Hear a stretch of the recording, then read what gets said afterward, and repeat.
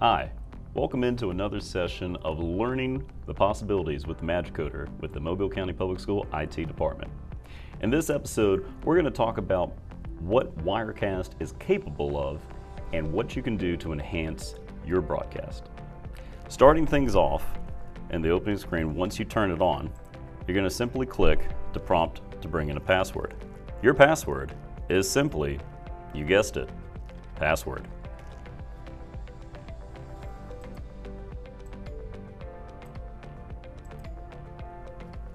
Now that we're into the main screen, we have a couple options up top. You probably have a folder for virtual sets, which we'll look at in another video. Today, we're just going to simply go up here to Magicoder. Double click, and let's let the program boot up. This is Wirecast. This is the program and the software that you're going to be using to broadcast your morning announcements or other programs for your school. Let's start off with the layers. You have five options. Each layer has the capability of adding video and audio simultaneously. But in this scenario, we're going to show you where you should properly place things. In the five layers, there's a rule called stacking. Stacking is where whatever you want to show up in the front of your picture needs to be at its highest point. For instance, if you have a watermark, say your school logo or broadcast logo for your show, you probably want to put it at the top because it's always going to be on the screen. Audio is a non-visual item, so you probably want it on layer 5. Let's take a look at how we're going to add those. If you come up to the plus sign on any layer, you'll notice that we have a number of options. Your first one is capture devices. You have two options right here, System Audio Capture and Intensity Pro 4K. In this case, we're just going to click Intensity Pro 4K. That is your camera. The magical thing about the Magicoder is if your item is not connected properly, it won't show up. We've now clicked into our camera.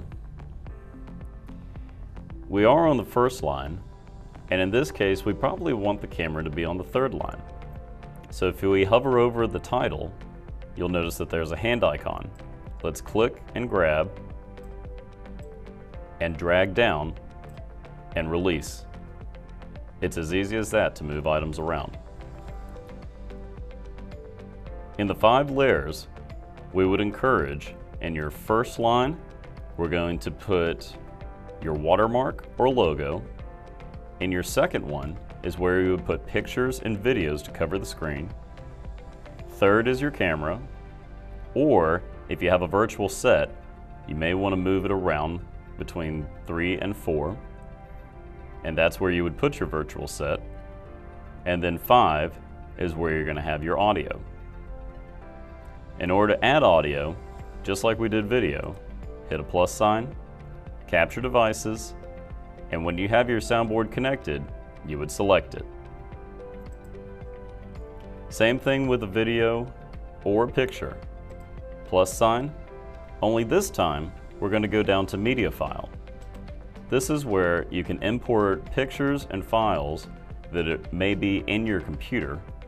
And so if we take this picture right here, We've now put it into the program.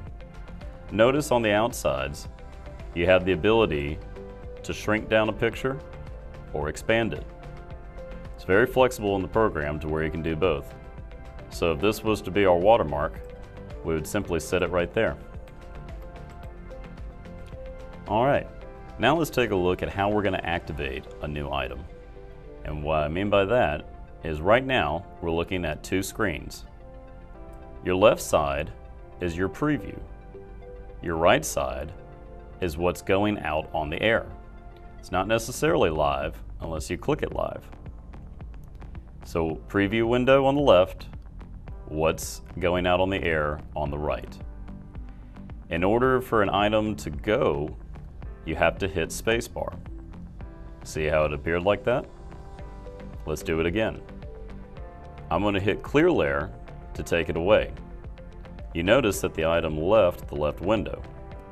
We're going to hit spacebar and now it's gone on both. When you hit spacebar, whatever is on the left side will appear on the right side. So let's do it again. We're going to click on the item that we want to show up. We're going to hit spacebar. If we wanted it to go away, I'd hit clear layer and then hit spacebar. You're going to do this whenever you're transitioning through the different pictures and videos of your broadcast. Let's talk about some other features. Up at the top, we see the options for stream and record. You can do both of these simultaneously. Ideally, when you hit record, you would have the option to record directly to your computer. Stream can go to things like YouTube, Facebook Live, and other features. To set those up properly, we'd go to Output at the top, Output Settings, and down here, we have the options for Record to Disk. If you don't have that option, simply go down to Add, click the drop-down menu, and select Record to Disk MP4. This will automatically go to your videos folder on your computer.